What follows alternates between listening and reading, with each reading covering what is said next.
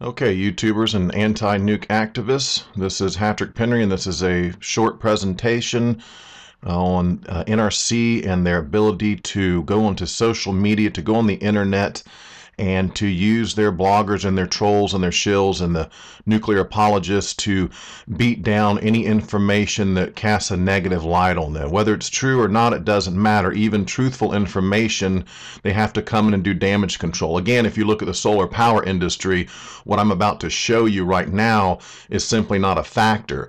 But when you go into the nuclear power industry, they have to have constant damage control.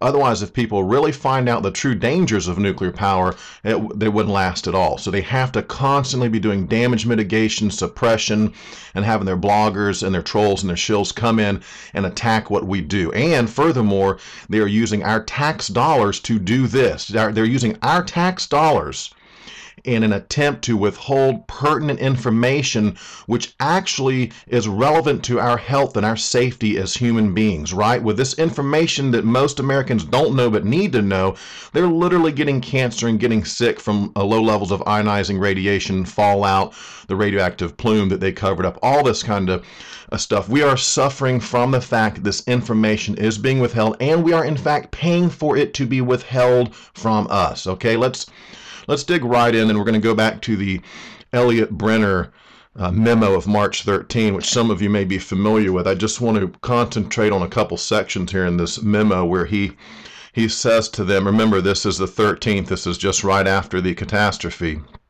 Uh, Eliot Brenner says, the blog was a great way to get information out besides our standard press releases and NSIR released access to YouTube and Twitter by midday Sunday so we could do more monitoring of what information was quote unquote in the public domain. Please take the time Monday morning to review all the press releases that went out and the blog post as well. Please use these to guide any media responses you provide. While we know more than what these say, we're sticking to this story for now. Now, if we look at this clearly, what, what, he's, what he's saying here is we're monitoring YouTube, we're monitoring Twitter. We have our bloggers go out and give our version of what we say things are, and we have our press releases, again, one-way form of communication. You just read it and go on your way. You can't respond or debate or anything. So it's a one-way avenue of information. They select what information they're going to send in our direction. I'll put it that way. And it says clearly they're going to do monitoring of what information is in the public domain domain. Again, solar power, do they have to do this? No. Wind power, do they have to do this? I sincerely doubt it. And that particular screen capture is important. I just want you to show they have bloggers. Uh, those bloggers have a purpose, and it is to suppress any information that shows cast the nuclear industry in a negative light. It's that really that simple. Okay, this next screen capture is from March 28, and it's in relation to a leaked plume map from the NRC.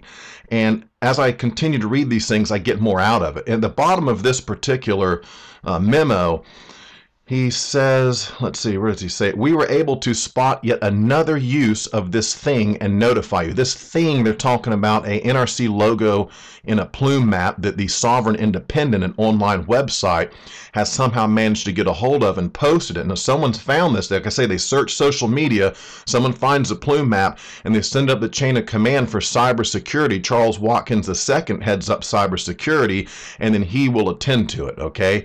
And so let me just read you this particular thing here and what's important about it. He says, we succeeded in having this bit of bogosity, and that's referring to the leaked a plume map with the NRC logo on it. We had this bit of bogosity removed from several websites. Several websites now. It was more than one that had this thing up on the internet.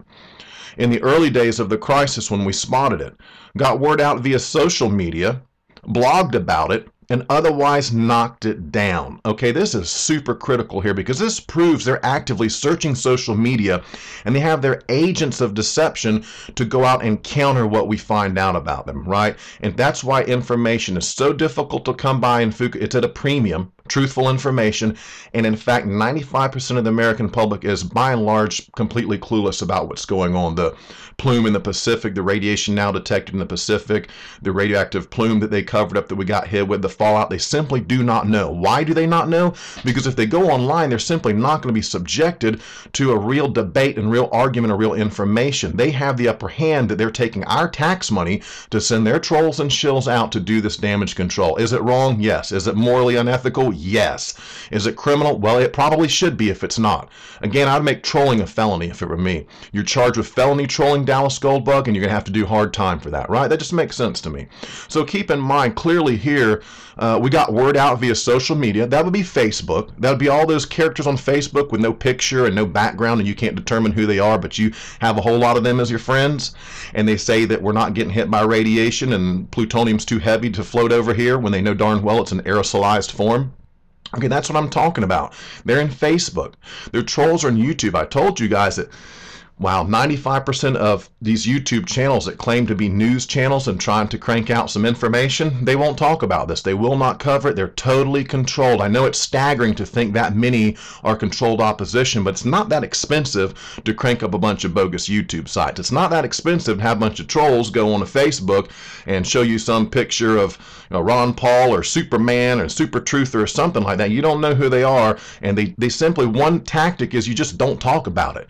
They'll post anything else up but nuclear, the nuclear crisis situation. You must understand they are saturating media with their version of the story and they're saturating media with the subject that they want to talk about, a superficial one usually, but they never want to talk about the real problem, always some superficial issue. And they're able to do that by going online with all these trolls and shills and apologists and their agents and to do this bit of damage control and damage mitigation via social media, via their blogs, and they knock it down. And this is this is not just one screen capture. If you go back to the uh, Brenner memo, he says clearly, you know, this is how effective this is. We're able to monitor the information and we're able to address it with our blog posts as well. So that's how they do damage control. It doesn't matter if the information is true or false. They don't want anything to show nuclear power in a negative light. Let me just say this. By and large, what the anti-nuclear uh, people are doing and exposing is generally dead on the money. It's generally dead on the money. They just don't want you to know that people are dying of cancer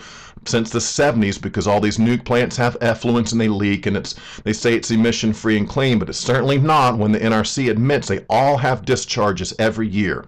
And miraculously those discharges are always below the super low threshold right? And I show you in the documents where they fudge the numbers and they're cheating on the measurements and they redact and hide measurements from us so you know you can't believe them on that stuff folks. Okay this next screen capture is an actual contract from Mar Incorporated. I'm going to tell you what they do in just a second, but let's let's look at the numbers here and let's let's realize a lot of our tax money is going into damage control online for the NRC. I mean, if it was solar power, you wouldn't have to do that. Okay, let's be very clear. There's other means of producing electricity that don't have to go to these means to hide the fact that their production means are so uh, dangerous and deadly to the American public.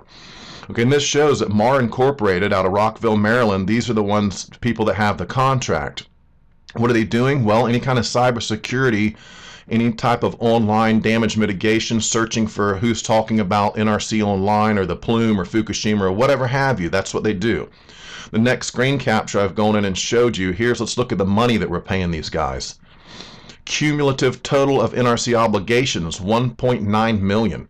Okay, and that's just 8, 9, 10, 11, 12. That's just through uh, five years. If you look at this particular screen capture, I go in and break it down and I say, notice the increase between fiscal year 2011 and fiscal year 2012 after the Fukushima disaster, the amount spent more than doubles, and, and and that's logical, right? That would that would make sense. After the disaster, people's talking about it, they want to know what's going on. You can clearly see in the FOIA documents they're all the time talking about you know, private citizens asking questions, professionals asking questions, academia, and just anyone who's inquiring about this thing. They want to know about it. They want to know about it. And who tells them who's asking questions and who's writing about them?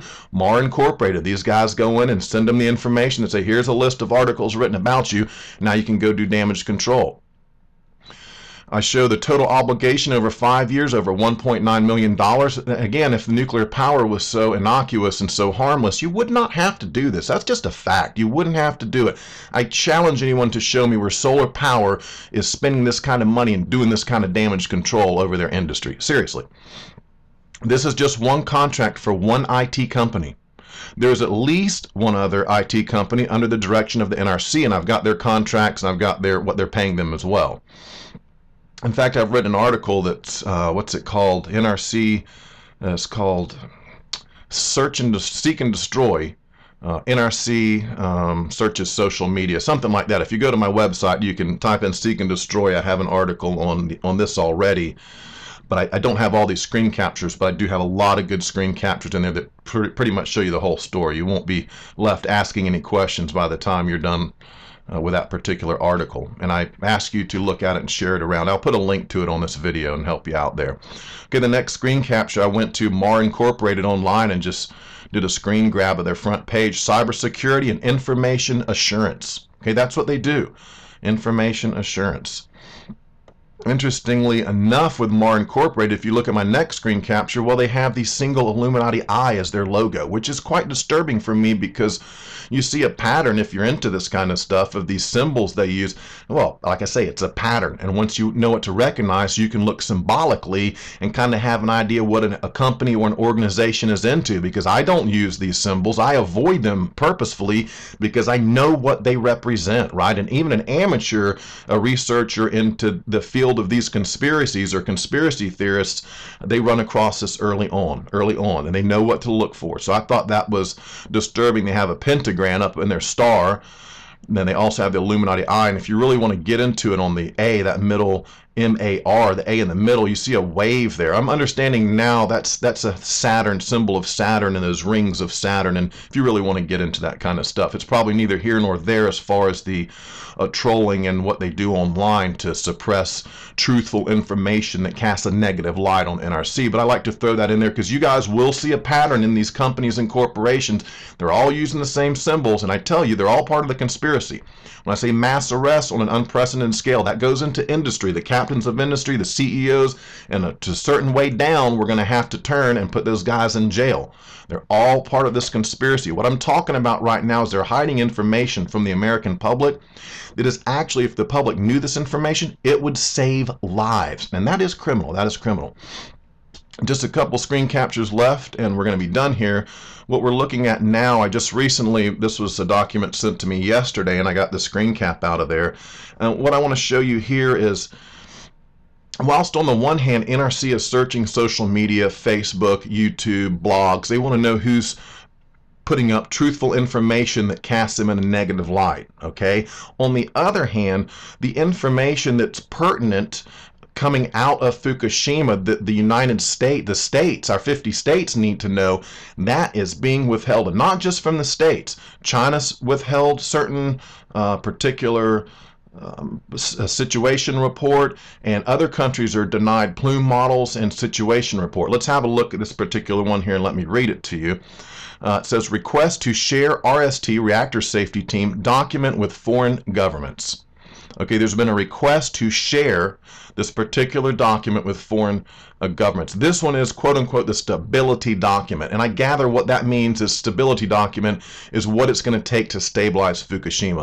And I think this is into late March or early April. So a lot of times elapsed and it's still not stable. I mean, they'll, they'll lie to you and tell you that it's stable, but it's very dynamic. There's no real cooling going on to speak of and they don't want anyone to know that. And in the stability document, kind of gives the measures that are going to have to be taken to stabilize the situation. Now, they don't, at this late date, weeks have elapsed, they don't want this leaking out and people to know that this many weeks have elapsed and the situation still is not under control. It's very dynamic. There's still a, a lot of uh, effluence, a lot of releases, radioactive releases. They're trying to downplay, trying to hide that, and they don't want that information to get out. It says, quote, request to share RST document with foreign governments. The governments of Canada, the UK, and Finland have requested that the RST share their quote unquote stability document, which they have discussed during their daily call with these governments. The request was forwarded to the ET, who is assessing what information is contained in the document before deciding on whether or not to share the document. I remind you, when they discuss this on a daily call, they have what's called their nuclear hands-off notes. I've got a screen capture of this where the guy talks about his hands-off notes that those are subjects that are taboo that they are not allowed to speak about. They know they're being recorded. The hands-off notes, that's what they absolutely don't want us to know about. So when they have a discussion, a daily call, they're being monitored. They have a liaison there, and they're very careful what they do and do not say to these other governments. So yes, it's they discussed it during their daily call, but I would warn you that that's a very limited. And, and indeed, I've got plenty of screen captures where they, you know, they say we're not going to go into detail and we can't talk about this. Yeah, so they're they're going to be very careful what they do discuss them. The, the really pertinent, damaging information stability report will never be seen by these governments or by the states or by China because it is so incredibly damaging as to the actual severity, the nature of the accident, okay? They want you to think it's 10% of Chernobyl, but it's not. It's probably a thousand times Chernobyl or a whole lot more than that. So the request was forwarded to the ET, that would be the request to share this document, who is assessing what information is contained in the document before deciding on whether or not to share the document. The document is still in draft, awaiting interagency comments. PMT was given permission to read the draft document to conference call members. Release of this document will be addressed as part of the process being developed to address the release of a document to the New York Times. Uh, and we'll talk about that in just a second, the release to the New York Times, which they, they didn't want that to happen. Action, continue to follow, update. A copy of the RST stability document was released to Mark, Mark Schaefer, that's of the IAEA, and he was instructed not to release it to any other organization, that it was for his use only. Okay, this is the stability document, and what this shows is just what steps and measures will have to be taken to stabilize the situation. They don't want people to know that because it's no quick fix. And when you, if you really look in these documents and really dig in, you'll find you'll be shocked. You will be appalled, and you'll be calling your congressman, and you'll want to get rid of nuclear power and us go to solar and release the thousands of suppressed patents that the patent office is has seized upon and is suppressing. Okay, clearly in this screen capture, though, we see that there's a document with pertinent information, information that would actually literally save the lives of the American public. Because had this information gotten out, maybe someone would have called for potassium iodine for rainwater warnings, green leafy vegetable warnings. They did not. They did not do that. Okay, next screen capture. I believe this is the last. And again, we're talking about Mark Schaefer. The IAEA has requested permission to share the NRC SITREP. Now, this is a situation report, not the stability document. This, in, in my understanding, is another document. This was one that Hillary Clinton was privy to early on. She knew what was contained in the SITREP, which we don't get to know. Let me continue reading. Mark Schaefer has requested permission to share the NRC SITREP with the Chinese government. OIP is working. OIP was advised this document should not be shared. Concerns with any plan to share the SITREP with the Chinese government are 1. U.S. states have been denied access to this document, and 2. If we share the document with the Chinese government, this precedent could obligate us to honor requests from other international stakeholders as well. As we learned with the New York Times article, we need to safeguard against leaks of official use only information.